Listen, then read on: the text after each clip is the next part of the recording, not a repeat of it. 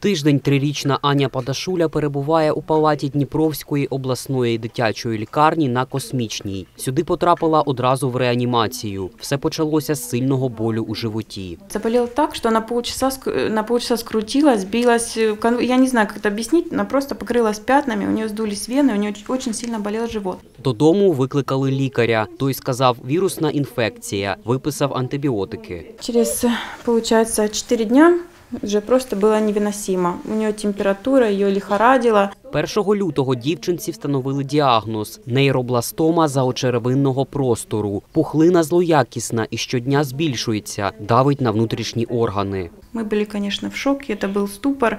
Я не знала просто, что делать. Ну, сейчас мы берем, конечно, себя в руки.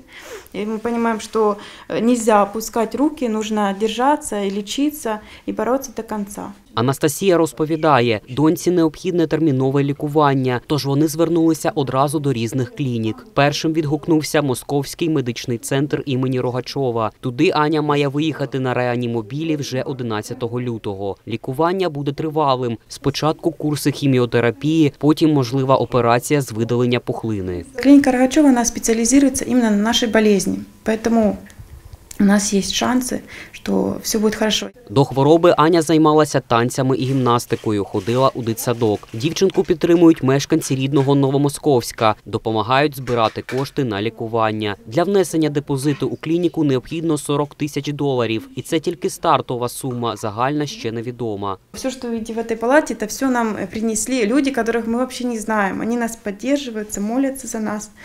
Надеюсь, что все будет хорошо. Допомогти Ані одужати можете й ви. Зверніть увагу на номер карти, що на екрані. Будь-яка сума є важливою.